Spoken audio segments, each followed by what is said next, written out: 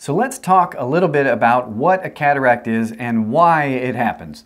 So to start at the end, we end up with a cataract, which is a cloudy lens that prevents you from seeing well enough to do the things that you want to do. So that's the end point, but what are the stages before that that lead us to that point? Um, and that all involves this condition called dysfunctional lens syndrome. Uh, syndrome. Now, the same way that we talk about cataracts as being inevitable, uh, and, and just as a quick little parenthetical there, in general, the big buzzwords for eyes are cataracts, glaucoma, macular degeneration. They all kind of get swirled together into just those are those are all kind of the same thing for a lot of people, uh, or they're all just in the same category. But the difference uh, between those different things is, besides a lot of pathology and physiology, is that glaucoma, macular degeneration, those are things that the vast majority of the population won't get. Even if they're the most common amongst eye problems, still, for every one person that gets it, there's anywhere between uh, 100 to 50 people that will not get those things. Cataracts are different than that. 100% of the population will get cataracts over a long enough period of time. And that's because of dysfunctional lens syndrome. So, uh, the idea behind dysfunctional lens syndrome is for a long time there wasn't a name for the lens slowly getting crummier over time. It was just kind of that we are aging. Uh, and then eventually some scientists were like, hey, we can actually name the stages of this. And it comes in a couple of stages. The first stage is your lens is really, really clear. And we'll put that as number one. Uh, clear, which has an E before an A. That's an E. Uh, and that is uh, the height of clarity, eighth birthday, the best your lens will ever be. It's got maximum flexibility. And, and if you were to uh, look at a lens from an eight-year-old, uh, it's got the consistency of uh, like jello that has been out of the refrigerator for an hour or two hours. It's very, very well, jello-y, uh, and that's because the gelatin nature of it, uh, in, even with regular jello, is by this protein matrix that just keeps everything uh, bound together, but very, very loosely. Um, it's all really, really fresh and new in a kid. And so the lens, let's just draw this for, for ease of description. This is an eyeball from the side. This would be the dome of the cornea on the front, and then the iris here. Your lens inside your eye sits just behind that and it's held in place by this ring of muscle with these little zonules, uh, these little uh, zonules that hold the lens like trampoline springs all the way around.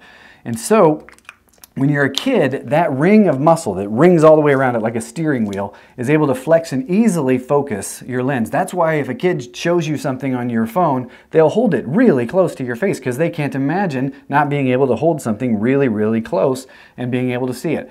That's stage one, and it lasts for a long time. The lens is so good when we were a kid that we get a lot of runway out of that. As a matter of fact, it's not until somewhere between age 42 and 50 for most people that we start to notice stage two. And that doesn't mean that stage two isn't already happening, it's just it gets to the point where we notice it. And stage two is inflexibility. Flexibility. Good. Felt like there were too many syllables. Uh, so inflexibility is the lens slowly getting more and more compact over time. Because this is all living tissue, and so the lens itself continues to grow over time, but it's in your eye, and so as it grows, there's not room for it to get bigger, so instead it gets more and more compact. Technically, it gets slightly bigger if there's another ophthalmologist watching this, uh, but it doesn't get dramatically bigger. The layers that are on the inside get more and more compact. It's very similar to how you start off with a, a sapling.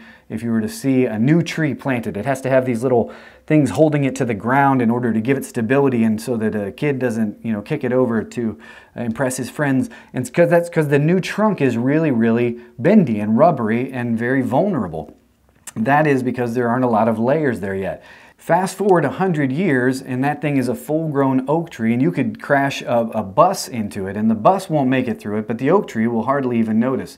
And the difference between those two time periods, when it's a new sapling that's easily bendable and a big solid oak, is that there's new layers that have been laid down over the years, and the layers that are on the inside become more compact and dense and woody over time.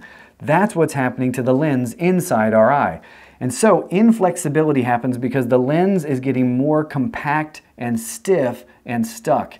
Now, why does that matter? It matters because this lens is dynamic. If we're looking up close, it has to be nice and rounded. If we're looking off in the distance, it has to flatten. And eventually, between age 42 and 50, that lens becomes stiff and stuck. And so that means somewhere in that age range, somebody will either have to buy readers for the first time, or bifocals, or lift their glasses up to read things because every single person has this inflexibility, but it happens over time. If you were to go back in time and look at an eight year old, they can read something right here. And if you were to look at an 18 year old, a little bit farther out, but no farther. And it just gets farther and farther. As a matter of fact, the reason that we notice this in our 40s is not because uh, just that it's getting worse quicker, which it is, but also because we run out of arm length. We can't hold stuff far enough out anymore. We can see the computer pretty good, but not anything that we have to hold. That's stage two. Stage three of dysfunctional lens syndrome is that the clarity of the lens starts to decrease in a way that we notice. Now that's not to say that it's not decreasing in a way that we don't notice before that, because it is. It's slowly getting worse and worse over time. But when it gets to the point that we can notice it, it's because those layers in the lens have become so compact over time that the light trying to get through the lens to the back of the eye, to the retina back here, where we can see it, it's getting muted. It's getting filtered in a way that's not helpful. If you were to remember back to being eight years old, uh, an eight year old can read a comic book with all the lights off and just the bathroom light on down the hallway because every photon that's making it off of that page is making it through their lens to their retina. And then you fast forward that same eight year old at age 58 instead has to hold a, a cell phone over a menu to shine the light on it just to be able to see it. And the difference between those two things is not the retina, it's actually all the lens because it's filtering out light that's coming in. That is the final stage of dysfunctional lens syndrome because as that clarity continues to uh, decrease over time, the lens eventually goes to the point where even with pretty good lighting, we can't see the stuff that we need to see anymore. And at that point, we can say we've officially moved on to having a cataract because a cataract is when you can no longer see well enough to do the stuff that you want to do as well as you want to do it the two main symptoms of a cataract to let somebody know that they have a cataract at this point are that driving at night has become more difficult, and that's because light coming into this dense lens is getting scattered as it makes it to the back of the eye, and also difficulty reading things without really, really bright lights. Same idea, it's because this lens has become so dense and cloudy that it's now filtering light out of the, out of the front of the eye towards the back of the eye. And so once you've reached that point, that's how you know cataract surgery might be really, really helpful to you.